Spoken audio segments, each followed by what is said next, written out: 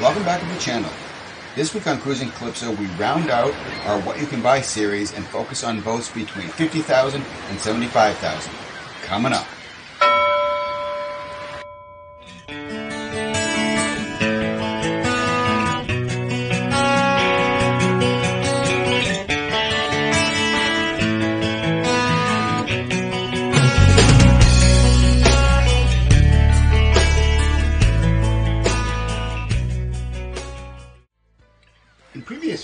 Which I'll link down below in the comments, we had looked at boats ranging from price from 150 to 250,000, from 75,000 to 150,000, and now we're going to look at boats from 50,000 to 75,000, which to be honest is a really great price point to get into cruising boats. There's a lot of boats available at this price point, and we're going to take a look at just a couple of them.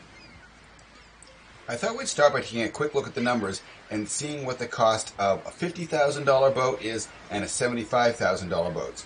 You can infer the cost in between those two numbers. So let's say what we have. Using our Cruising Calypso cost estimator, we can put in the values that we need to see what we get. So let's start by putting in a boat that's 32 feet long and 11 feet on the beam. And we'll price this boat at $75,000. We're going to say that we're going to plan on financing this boat. We'll say that we're going to put 20% down, which is pretty normal. And we'll say we're going to keep it on a mooring, which is the most economical way to do it. So let's look at the results. So as you can see, that gives us an overall monthly cost of $915 a month or $10,900 a year. And you can see how the expenses break down between the loan, the cost of the mooring, winter storage, and all the other things. It is important to note here that of the $915, I've got $102 for fuel. So that really makes it um, more like $812 um, a month or a little bit less than $10,000 a year for the boat. So now let's change the numbers to a lower cost boat. Let's change this to $50,000. Make the boat more like 28 feet, which is probably close to what you'll buy for 50,000. 28 footer is a little bit narrower, 10 feet. That ranges. Again, we're going to finance the boat and we'll keep it on a mooring. So now you can see the overall monthly cost drops to $716, and you can see the breakdown there.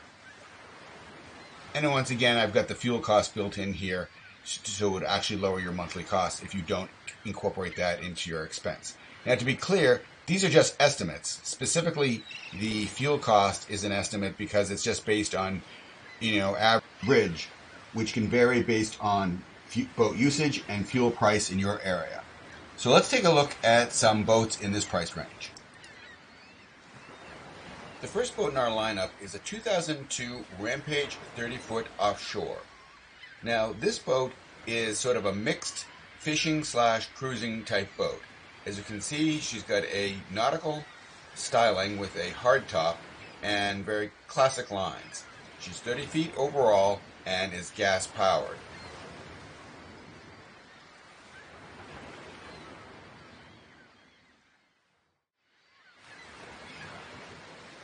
The high freeboard of this boat gives her good sea kindliness, and the high rails forward make her very safe when you're offshore. Taking a look below, you can see here the uh, cabin layout offers a forward double berth for two, a settee to starboard to sleep on, and an enclosed head.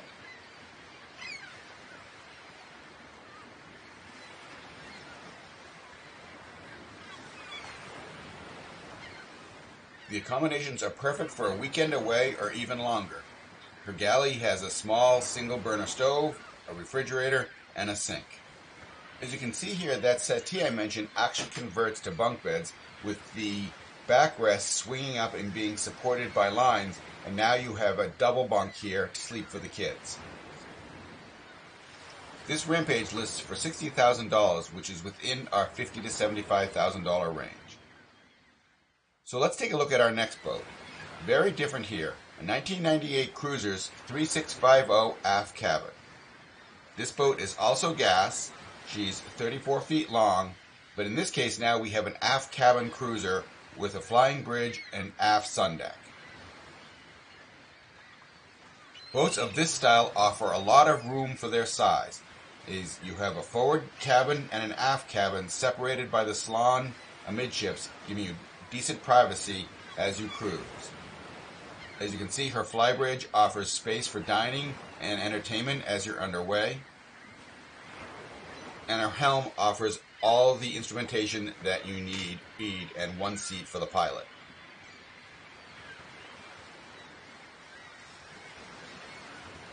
Her aft deck offers space to put freestanding chairs and entertain. Moving below, you can see she has a decent sized salon with a settee to port and room to starboard for chairs and a television. Forward, you can see there is a dinette opposite the galley. Her forward stateroom has a double berth and storage below. Her aft cabin has a nice double berth for two as you can see, plenty of floor space and headroom, which is typical of boats of this size. Again, powered by a pair of Mercruisers, she is reasonably economical, will move along at a decent speed, probably 18 to 20 knots, and get you where you need to go. This boat is priced at 75000 which is at the top of our range. Our last boat, coming in again at around $60,000, is the Sea Ray 340 Sundancer. In my view, this is one of the best values on the market today. This boat offers plenty of size for a small family. She's fast enough to get you where you want to go, but she's not too big to be easily handled. She has decent room below and has excellent good looks, and there are enough of them made that you can find them in many areas of the country. So diving in a little deeper, the 340 Sundancer, like all Sundancers, has the classic express yacht style boat. In other words, she has an open cockpit, a radar arch, often with a canvas bimini over the driving station.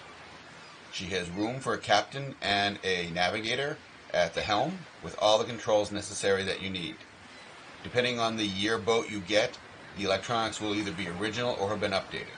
You can see here the cockpit has opposing settees with room for a table in between and a cockpit door leading to the swim platform. Down below she has a double-sized bed all the way forward, and with storage, galley to port, and a dinette to starboard. The galley consists of a decent-sized refrigerator, a cooktop, and a sink, along with a microwave. Can see the TV, and this one has been updated to a flat screen. She's powered usually by 7.4 liter um, V8s and often with a gas generator. These engines will power her along nicely, E at about 20 to 21 knots. Headroom below is generous, and the mid cabin and the forward cabin have privacy curtains to give you a little separation from the main cabin. Those of you who follow the channel, you know that our Calypso 1 was a 310, which was just a slightly smaller version of this boat, um, and also gave us decent room. But the 340 is definitely a, a greater value when it comes to cruising. It's important to note that anytime you are searching for a used boat, you want to take the time to find a good, clean example. And by that I mean one that has been well taken care of, one that has had regular maintenance because is buying a boat that might be the cheapest one on the market and may not be the best well maintained will come back to haunt you. I hope you enjoyed that video. If you're in the market for a boat from 50000 to 75000 check it out. And as always, put comments down below if you have any questions. We're always here to help you out. See you on the next one.